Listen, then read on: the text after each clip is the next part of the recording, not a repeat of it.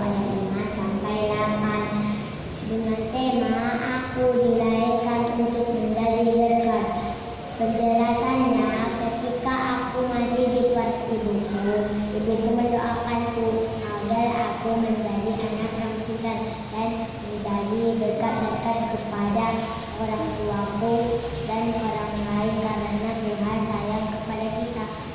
Nah, aku mau mengasih solusinya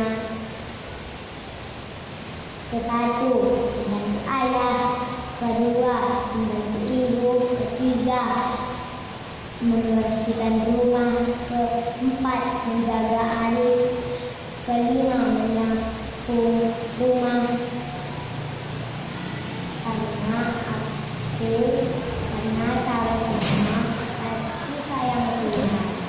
Karena aku aku membina karena bisa mengenal firman Tuhan, bisa menjadi anak Tuhan. Terima kasih. Amin.